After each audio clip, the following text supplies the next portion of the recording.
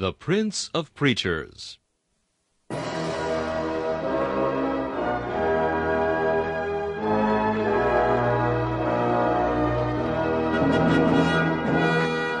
Charles Haddon Spurgeon has been called England's greatest contribution to the spread of the gospel in the 19th century. One of his contemporaries said that the chief secret of Spurgeon's attractiveness was the fact that, in every sermon, no matter what the text or the occasion, he explained the way of salvation in simple terms.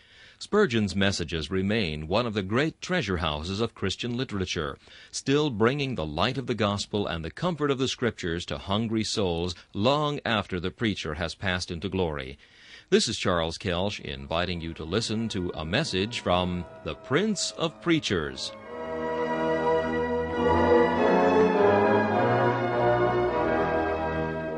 C.H. Spurgeon preached this message on March 16, 1862, at the Metropolitan Tabernacle. It is entitled The Danger of Doubting. The text is found in 1 Samuel chapter 27 and verse 1. And David said in his heart, I shall now perish one day by the hand of Saul. To doubt the loving kindness of God is thought by some to be a very small sin. In fact, some have even exalted the doubts and fears of God's people into fruits and grace and evidences of great advancement in experience. It is humiliating to observe that certain ministers have pampered and petted men in unbelief and distrust of God, being in this matter false to their master and to the souls of his people. Far be it from me to smite the feeble of the flock, but their sins I must and will smite, since it is my firm conviction that to doubt the kindness, the faithfulness, and the love of God is a very heinous offense. Unbelief is akin to atheism. Atheism denies God's existence. Unbelief denies his goodness. And since goodness is essential to God, these doubts do in reality stab at his very being. That can be no light sin which makes God a liar. And yet unbelief does in effect cast foul and slanderous suspicion upon the veracity of the Holy One of Israel. That can be no small offense which charges the Creator of heaven and earth with perjury. And yet, if I mistrust his oath, and will not believe his promise sealed with the blood of his own Son, I count the oath of God to be unworthy of my trust and so I do in very deed accuse the King of heaven as false to his covenant and oath. Besides, as I shall have to show this morning, unbelief of God is the fountain of innumerable sins. As the black cloud is the mother of many raindrops, so dark unbelief is the parent of many crimes. And what if I should say that unbelief concentrates the vice of ages into a moment, and gathers up the virus of all the offenses of the race in one transgression? I shall not be far from the mark.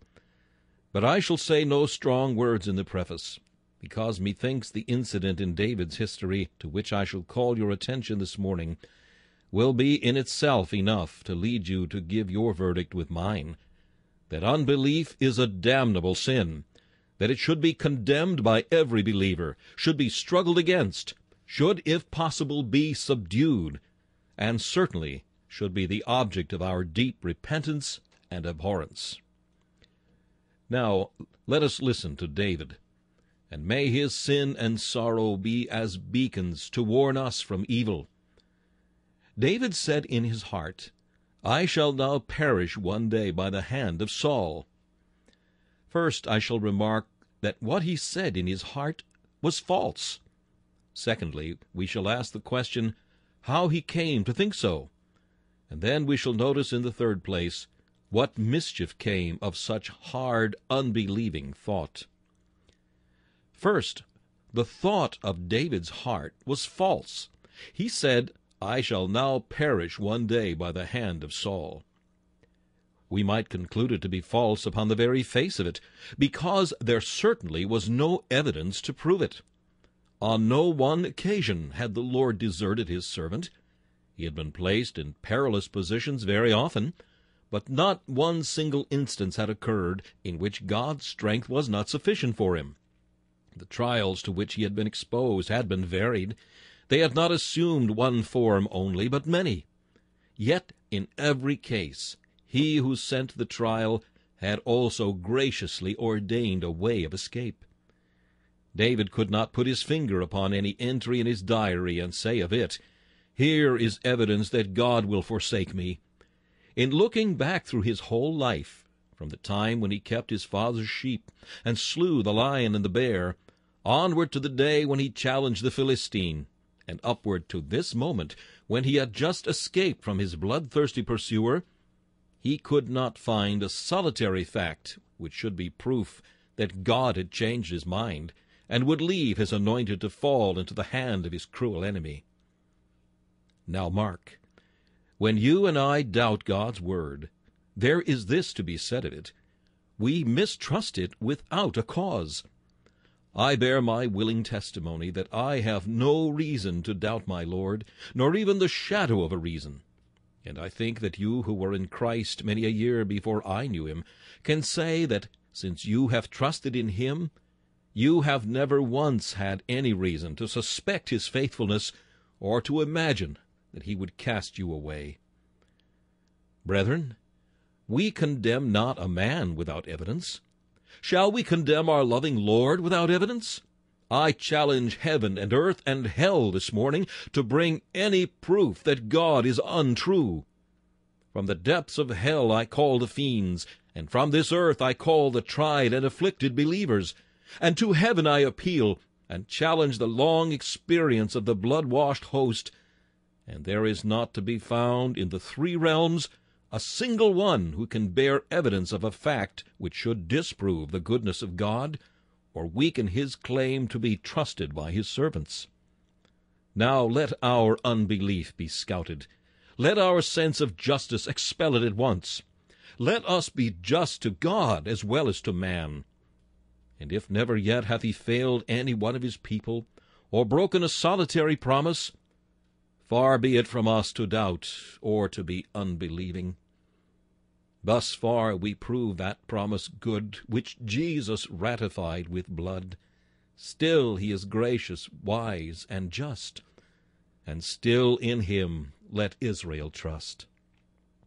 But again, what David said in his heart was not only without evidence, but it was contrary to evidence. What reason had he to believe that God would leave him? Rather, how many evidences had he to conclude that the Lord neither could nor would leave him? Thy servant slew both the lion and the bear, and this uncircumcised Philistine shall be as one of them. That was good reasoning. Why not reason like that now, David? Why not say, Thy servant slew the Philistine, Thy servant escaped from the javelin of Saul, when the mad monarch would have pinned him to the wall. Thy servant escaped from all the devices of Doeg. Thy servant escaped when Saul pursued him in the tracks of the wild goats, and in the caves of En-gedi. Thy servant escaped out of the power of Achish the Philistine. And lo, this Saul who seeks my head, out of his hand shall I escape also? That would have been a rational conclusion a proper way of dealing with evidence. But to say, after such love and kindness past, he will let me sink at last, was to draw a lying conclusion, and to bring in a verdict directly contrary to the evidence. Brothers and sisters in Christ, your case is similar. At least mine is. O Lord God, Thou hast not left us at any time. We have had dark nights, but the star of love has shone forth amid the blackness. We have had our cloudy days, but our sun has never set until we have had glimpses of sunlight from heaven. We have gone through many trials, but never to our detriment, always to our advantage. And the conclusion from our past experience, at least I can speak of my own positively, is that he who hath been with us in six troubles will not forsake us in the seventh. He hath said, I will never, never leave thee, and will never, never, never forsake thee. Do not think I repeat these nevers too often. I repeat the text just as I find it in the Greek. What we have known of our faithful God goes to show that He will keep us to the end, and even to the last He will be our helper. Go not then contrary to evidence. What should we say of a jury who, after having heard a case in which the verdict should evidently have been not guilty, should nevertheless say guilty? Let the earth ring with a cry of indignation. A man has been condemned not only unjustly, but in the very teeth of evidence which has proved his innocence. O heaven and earth, ring ye with the universal indignation of honest men, that we should think God untrue, when all the evidence of our past lives goes to prove that he is true and faithful to his word. Our Saviour's word abideth sure. His record is on high. He who has made our soul secure was never known to lie. Munitions of stupendous rock our dwelling place shall be. There shall our souls, without a shock, the wreck of nature see. Thirdly, this exclamation of David was contrary to God's promises. Samuel had poured the anointing oil on David's head, God's earnest and promise that David should be king. Let David die by the hand of Saul. How can the promise be fulfilled? Many times had God assured his servant David that he had chosen the son of Jesse to be the leader of his people. Let him die, and how can that be true? It was therefore clean contrary to the promise of God that David should fall by his enemy's hand. Christian, it is contrary to every promise of this precious book that thou shouldst become the victim of the line of hell. How then could he be true who has said, Can a woman forget her sucking child, that she should not have compassion on the son of her womb? Yea, they may forget, Yet will I never forget thee. What were the value of that promise? The mountains shall depart, and the hills be removed. But my kindness shall not depart from thee, neither shall the covenant of my peace be removed, saith the Lord that hath mercy on thee. Where were the truth of Christ's words? I give unto my sheep eternal life, and they shall never perish, neither shall any man pluck them out of my hand. My Father which gave them me is greater than all, and no man is able to pluck them out of my Father's hand. Where were the doctrines of grace? They would be proved to be a lie if one child of God perish. Where were the veracity of God, His honor, His power, His grace, His covenant, His oath, if any of those for whom Christ has died and who have put their trust in Him should nevertheless be cast away? Oh, by this precious book which thou believest to be true, unless thou art prepared to cast it away as a vile thing of falsehood, distrust not thy Lord, but rather say, The gospel bears my spirit up. A faithful and unchanging God lays the foundation for my hope in oaths and promises and blood. But further, this wicked exclamation of David was contrary to what he himself had often said. Here I convict myself. I remember on one occasion, to my shame, being sad and doubtful of heart, and a kind friend took out a paper and read to me a short extract from a discourse upon faith. I very soon detected the author of the extract.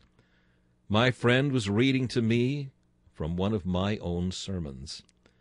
Without saying a word, he just left it to my own conscience, for he had convicted me of committing the very fault against which I had so earnestly declaimed.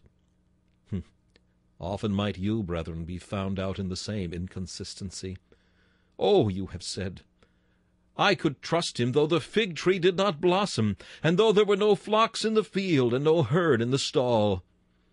Ah, ye have condemned the unbelief of other people. But when it touched you, you have trembled. And when you have come to run with the horsemen, they have wearied you. And in the swellings of Jordan, you have been troubled. So was it with David. What strong words he had often said when he addressed others! He said of Saul, His time shall come to die. I will not stretch out my hand and touch the Lord's anointed. He felt sure that Saul's doom was signed and sealed. And yet, in the hour of his unbelief, he says, I shall yet one day fall. What a strange contradiction was that! What a mercy it is that God changeth not! for we are changing two or three times a day. But our own utterances, our own convictions, for time, are clean contrary to the idea that he can ever leave us or forsake us. I appeal, as did that ancient worthy who appealed from Philip drunk to Philip sober. I appeal from Philip unbelieving to Philip in a proper state of mind. I bring up before you your own thoughts, your own emotions, your own joyous shouts of song, your own psalms of victory. And I ask you to make these consistent with your present doubts. Though a host should encamp against me, my heart shall not fear. Though war should arise against me, in this will I be confident. That is David. I shall one day perish by the hand of Saul. That is David too. I will love thee, O Lord, my strength. The Lord is my rock and my fortress, my deliverer, my God, my strength, in whom I will trust, my buckler and the horn of my salvation, and my high tower. I will call upon the Lord, who is worthy to be praised. So shall I be saved from mine enemies.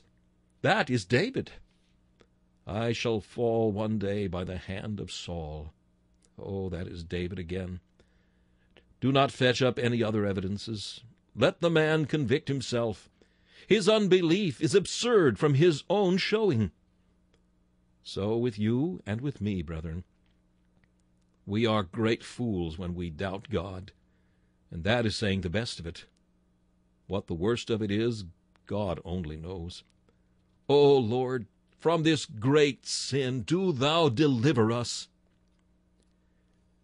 Yet once more this exclamation of David was contrary to the facts.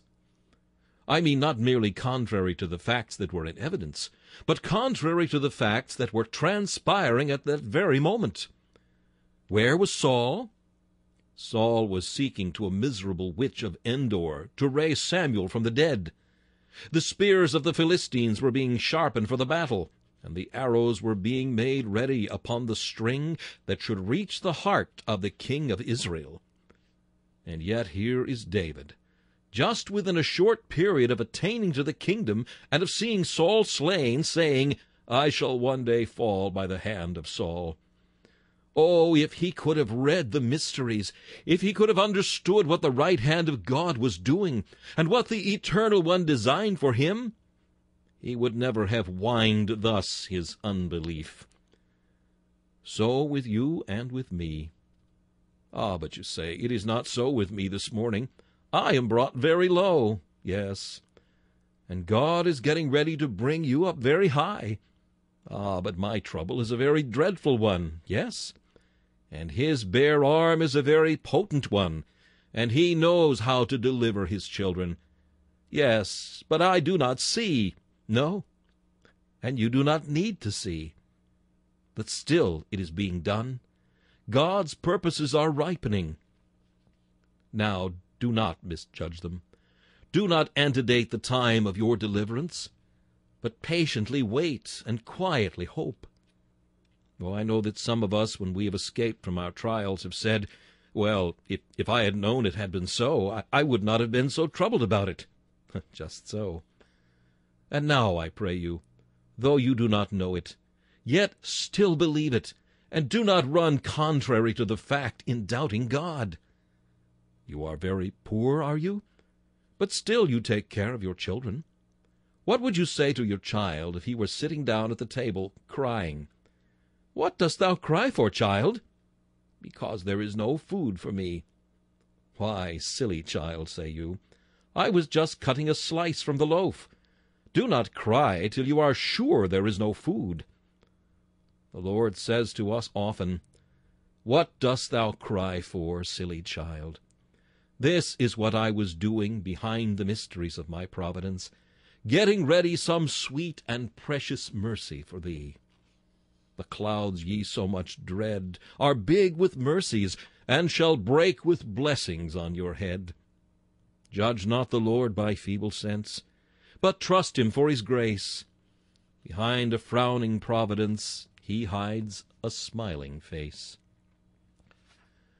But I must now, while my strength shall hold out, proceed to the second part of the discourse, namely, how was it that David came to think thus of his God? First answer I give is because he was a man.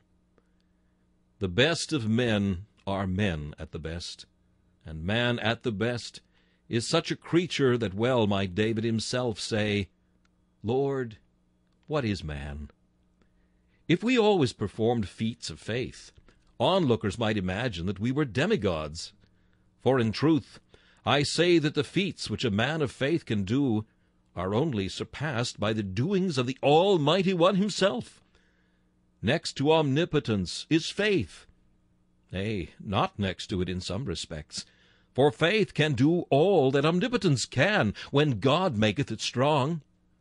What were the hosts of the Philistines to Samson?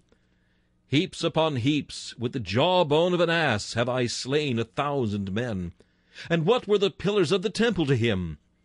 He bowed himself with all his strength, and pulled down the goodly palace of the Philistines upon the princes and upon the assembled multitudes. Faith can do everything. But if faith never gave place to unbelief, we might be tempted to lift up the believer into a demigod, and think him something more than mortal, that we might see that a man full of faith is still a man, that we might glory in infirmities, since by them the power of God is more clearly proved. Therefore God was pleased to let the feebleness of man grievously show itself. Ah, it was not David who achieved these former victories, but God's grace in David. And now, when that is removed for a moment, see what Israel's champion becomes. But again, you must consider that David had been exposed to a very long trial. Not for one week, but for month after month he had been hunted like a partridge upon the mountains. Now a man could bear one trial, but a perpetuity of tribulation is very hard to bear. To lay one's head down upon the block seems to me to be comparatively easy. To be strapped, as some of the martyrs were, to a stake, and be roasted over a slow fire hour after hour, while the limbs wither in the heat, must have been awful. The martyrdom of an hour is sudden glory, but the martyrdom of a life, oh, there needs something more than human to endure this. To be crucified, to have the hands and feet fast, but the vital parts intact, to have all the pangs of death with all the strength of life, now such was David's trial. Always safe, but always harassed. Always secure through God, but always hunted about by his foe. No place could give him any ease. If he went to Keilah, then the citizens would deliver him up. If he went into the wood of Ziph, then the Ziphites betrayed him. If he went even to the priest of God, there was that dog of a Doeg to go to Saul and accuse the priest. Even in En-gedi or in Adullam he was not secure. Secure, I grant you, in God, but always persecuted by his foe. Now this was enough to make the wise man mad, and to make the faithful man doubt. Do not judge too hardly of David. At least, judge just as hardly of yourselves. I think that if we also were tempted, we should fall as he did. Then again, you must remember, David had passed through some strong excitements of mind. Just a day or so before he had gone forth with Abishai in the moonlight to the field where Saul and his host lay sleeping. They passed the outer circle where the common soldiers lay. Quietly and stealthily the two heroes passed without waking any.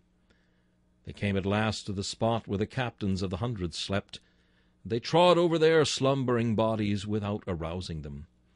They reached the spot where Saul lay, with his spear stuck in the earth at his bolster, and his cruse of water standing, that he might refresh himself if he awoke in the night. And Abishai said, The Lord hath delivered him into thy hand. Let me smite him. I will smite him but this once. David holds back Abishai's hand.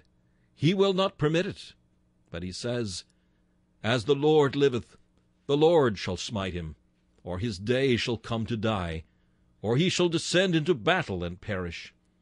The Lord forbid that I should stretch forth mine hand against the Lord's anointed. So he escaped from this temptation, as he had aforetime, when he only cut off the skirt of Saul's robe, instead of smiting him as he might have done in the caves of En-gedi. Now, brethren, a man may do these great things helped by God. But do any of you know that there is a sort of natural law with us, that after a strong excitement there is a reaction? I will give you a picture. There is Elijah yonder. He has builded an altar unto the Lord his God. The priests of Baal have built another. Elijah appeals to God. He that answereth by fire, let him be God. The priests of Baal supplicate their God. He answers not. They cut themselves with lancets and with knives. Their dumb idol could not affirm his own deity. Elijah mocks them. Cry aloud, said he, for he is a god. Peradventure he sleepeth, and needeth to be awakened. So in grim sarcasm he stirs up the wrath of the priests of Baal. No answer comes. Now it is Elijah's turn. He bows the knee and lifts up his hands to heaven. The flame descends. Be astonished, ye unbelievers. It licks up even the water in the trenches and the twelve consecrated stones are themselves consumed and carried in smoke to heaven, even as the flame of the burnt offering. Take the prophets of Baal, let not one escape, cries the stern Elias. He grasps one of them and drags him down the hill, and the willing people follow, dragging by the hair of their heads the false priests down to the brook. And then, stripping to his sleeves, he dyes himself with the gore blood of these, the haters of God and the betrayers of his people, till the brook runs red with the smoking blood of Baal's priests. Now, what will happen after that? When Elijah gets away from all this heroic daring, because he is a man, there will be a reaction. And lo, he is afraid of Jezebel, who hunted for his life. He cries, Let me die. I am no better than my fathers. And he hides himself, till God says, What dost thou here, Elijah? Now if Elijah, the most iron saint of ancient times, felt the result of human weakness, much more might we expect it of David. So that again I say, we are not to judge him too severely, unless we feel prepared with the same measure that we meet to him to mete out to ourselves also. But there was another reason, for we are not to exculpate David. He sinned, and that not merely through infirmity, but through evil of heart. It seems to us that David had restrained prayer. In every other action of David you find some hint that he asked counsel of the Lord, he says to Abiathar, Bring hither the ephod. And he enters upon no enterprise without first asking of the Urim and Thummim what was God's mind. But this time, what did he talk with? Why, with the most deceitful thing that he could have found, with his own heart. For the heart is deceitful above all things, and desperately wicked. I do not find that he mentioned it to God's priest. He did not make it a matter of prayer. He could not venture to pray when he undertook it himself. No, he acted on his own head, and a man will soon find that head is full of addled brains that can judge without appealing to God. Having restrained prayer, he did the foolish act. He forgot his God. He looked only at his enemy. And it was no wonder that when he saw the force and strength of the cruel monarch, and the pertinacity of his persecution, he said, I shall one day fall before him. Brothers and sisters, would you wish to hatch the egg of unbelief till it turns into a serpent? Restrain prayer. Would you see evils magnified and mercies diminished? Would you find your tribulations increased sevenfold, and your faith diminished in proportion? Restrain prayer. I say unto thee this day, if thou wilt neglect thy closet, all the troubles thou hast ever had shall be as nothing compared with what will yet come upon thee. The little finger of thy future doubts shall be thicker than the loins of thy present mental anguish. Thou shalt know what man can do when he leaves his God, and thou shalt find out in the bitterness of thy soul what an evil thing it is to leave the living fountain and hew out to thyself a broken cistern which can hold no water. I have thus, I think, as well as may be, opened up the causes of David's unbelief. Some of them will have hit your case, my brother. My sister, you may find some portion here. Well, if you find out the cause, remember that the remedy lies somewhere near it. If a forgotten closet will make thee weep, a frequented closet will make thee smile. If the excitement of delight has been followed by depression, that excitement himself, if thou seekest it again, will be the best cure, till thy mind, made strong to endure these blessed excitements, shall be sweetly strengthened for the bliss of heaven. And on earth thou shalt be capable of enjoying the heaven which some of the saints have known before they crossed the stream of death. But I must hasten on, for my failing voice tells me I must soon conclude. But not until we have discharged briefly the third point. What were the ill effects of David's unbelief? It strikes me that this was one of the sins to which David referred when he asked God to forgive the sins of his youth and his former transgressions. We have looked so often at his sin with Bathsheba that we have been apt to think he had no other faults. Whereas, one must say it, the life of David for some few months after this exclamation was sad, and one might wish it could be blotted out. It was sad, sad indeed. But we will talk of these matters in detail, though briefly. What did his unbelief make him do first? It made him do a foolish thing, the same foolish thing which he had rued once before. Now, we say a burnt child always dreads the fire. But David had been burnt, and yet, in his unbelief, he puts his hand into the same fire again. He went once to Achish, the king of Gath, and the Philistines said, This is that David of whom they said, Saul has slain his thousands, and David his ten thousands. And David was greatly afraid, and feigned himself mad in their hands, and scrabbled on the doors of the gate, and let his spittle fall down upon his beard, which to the eastern was the surest sign of his being mad, if he despised his beard. And they drove him away. For Achish said, Wherefore then have ye brought him to me? Have I need of madmen, that ye have brought this fellow to play the madman in my presence? Shall this fellow come into my house? Now he goes to the same Achish again.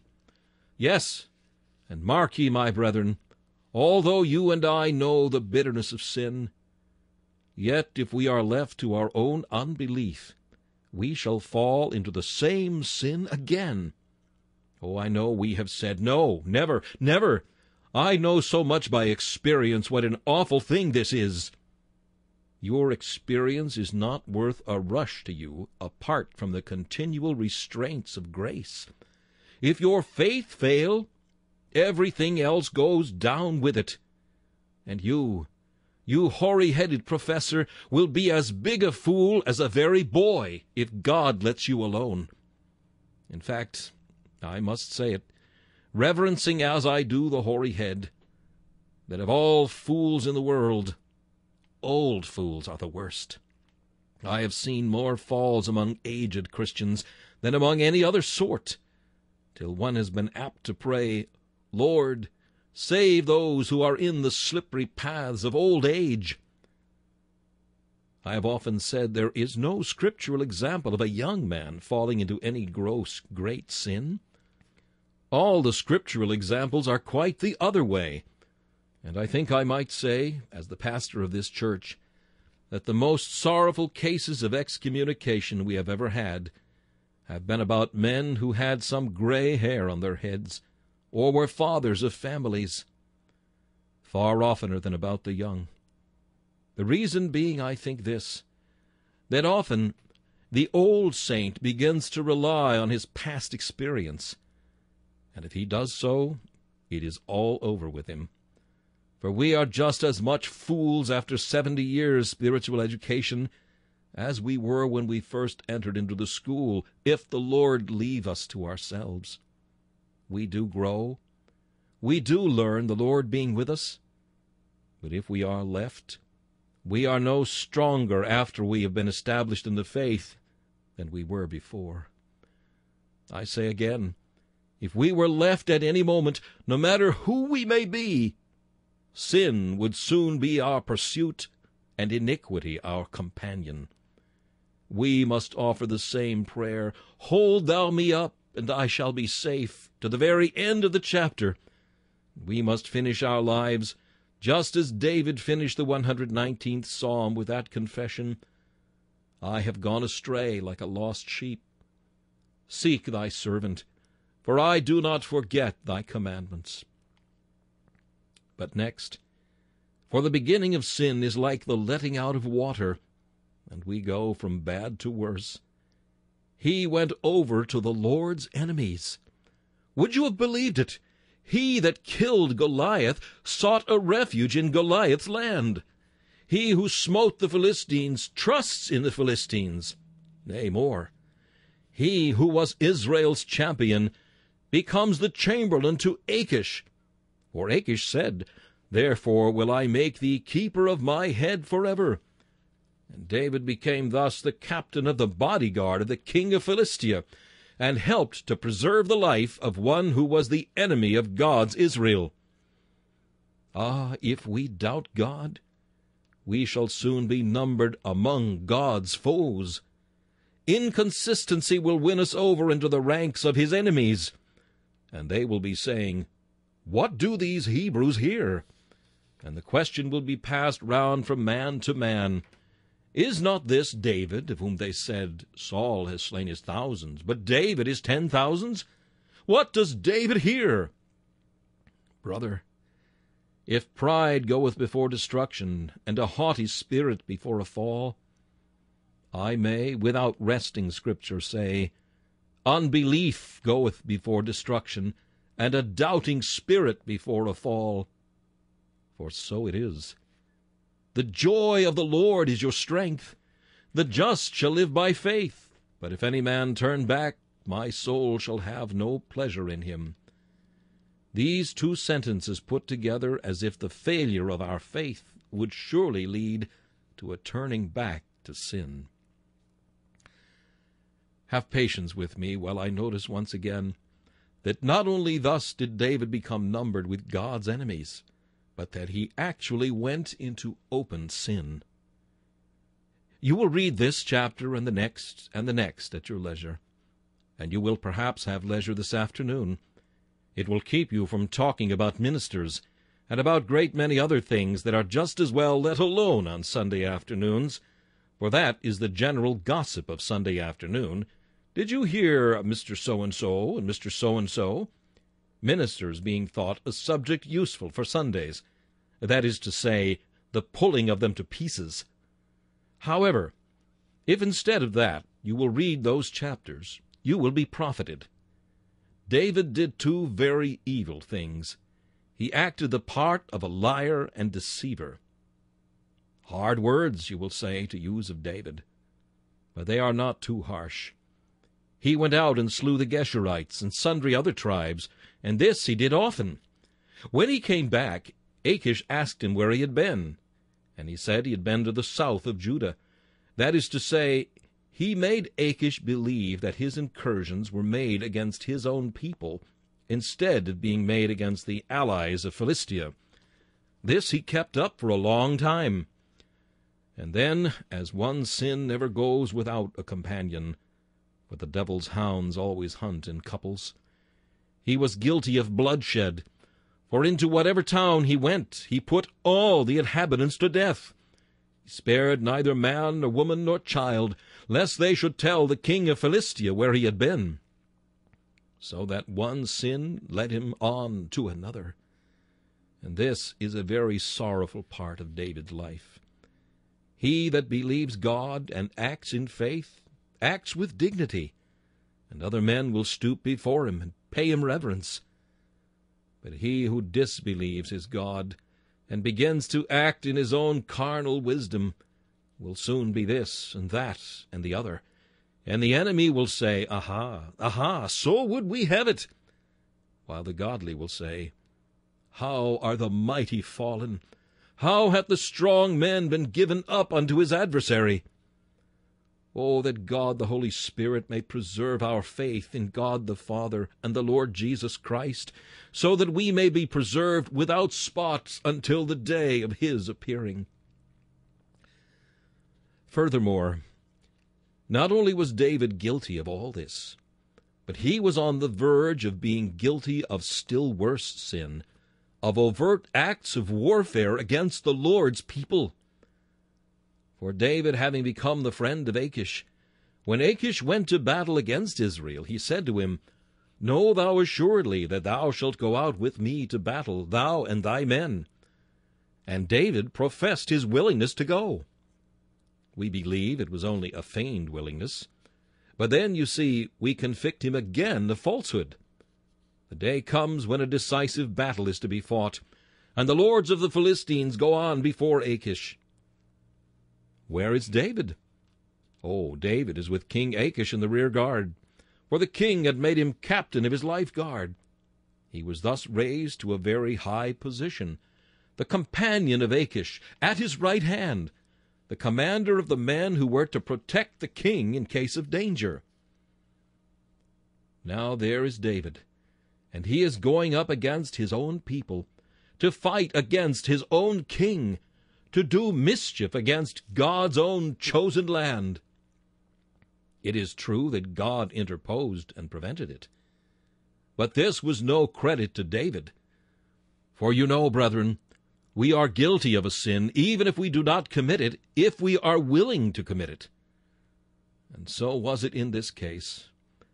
Nay, we are sorry to have to say it even when the lords of the Philistines interposed, and said, Make this fellow return, that he may go down to his place which thou hast appointed him, and let him not go down with us to battle, lest in the battle he be an adversary to us.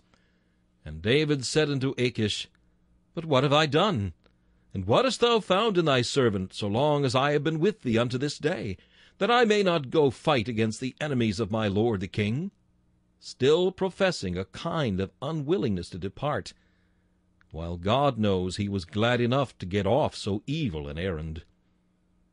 What a mercy it is we have some enemies, for God makes our enemies often our best friends. I forget who it is, but I think it is old Bishop Hall in his Meditations who says, When the Lord's people have a deadly cancer, there are many of their friends who are too dainty to let the lancet in, but their foes will do it out of spite and then they get cured thereby.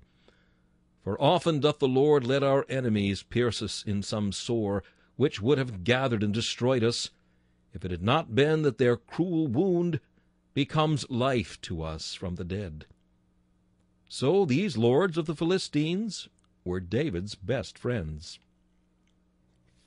To conclude, the last effect of David's sin, and here it blessedly came to close, was this it brought him into great trial. Let me tell the story briefly, and I have done. While David was away with King Achish, the Amalekites invaded the south and attacked Ziklag, which was David's town. For some reason or other, they did not put to death any of the inhabitants, but they took away the whole of the men, the few who were left, the women and children, all their household goods and stuff and treasures. They took away all. And when David came back to Ziklag, there were the bare walls and empty houses, and Ahinoam and Abigail, his two wives, were gone. And all the mighty men who were with him had lost their wives and little ones. And as soon as they saw it, they lifted up their voice and wept. It was not that they had lost their gold and silver, but they had lost everything. That exiled band had lost their own flesh and blood, the partners of their lives. Then they mutinied against their captain, and they said, Let us stone David. And here is David, a penniless beggar, a leader deserted by his own men, suspected by them probably of having traitorously given up the town to the foe. And then it is written, and oh, how blessed is that line! And David encouraged himself in the Lord his God. Ah, now David is right. Now he has come back to his proper anchorage. Blessed afflictions that drive him back to where he ought to have been all the time. Sin and smart go together. The child of God cannot sin with impunity. Other men may. Ye that fear not God may go and sin as ye like, and often meet with very little trouble in this world as the consequence of it. But a child of God cannot do that. You only have I known of all the nations of the earth. Therefore will I punish you for your iniquities. And so David had the rod more sharply than he had ever had it before, because he had doubted his God. Ah, and what are we? Many of us believe in Christ. But what are we if God should leave us? Let us heartily join in the prayer, Lord, increase our faith. Hold thou us up, and we shall be safe. As for you who have no faith in Christ, this last word. If temporary unbelief is so dreadful, what must habitual unbelief be? He that believeth not shall be damned. He that believeth not is condemned already, because he believeth not. God help the unbeliever to trust Jesus. It is life to thee. It will be life to thee in this world and in the world to come. Trust him with thy soul, and he will never forsake thee. But to the end he will keep thee, and in the end he will bless thee and without end he will glorify thee to be with himself forever. May the Lord bless the words we have uttered, and make us faithful for Jesus' sake. Amen. Tis Jesus speaks, the sinner's friend, dejected saint today. Lift up thy head, nor downward bend, but sing thy fears away. Why dost thou like the turtle grieve? Cast all thy cares on me. My grace sufficient is, believe, in every state for thee. To guard thee from ten thousand ills, and make thy standing sure, sufficient are my shalls and wills that must and shall endure. At every time, in every place, in safeguard thou shalt be, and find my everlasting grace sufficient still for thee. Jesus, assist us to believe, or slow of heart are we. Grace from thy fullness to receive, and thus to honor thee. This message, The Danger of Doubting, was preached by Charles Haddon Spurgeon on March 16, 1862. This is Charles Kelsch inviting you to join me again for another message from the Prince of Preachers.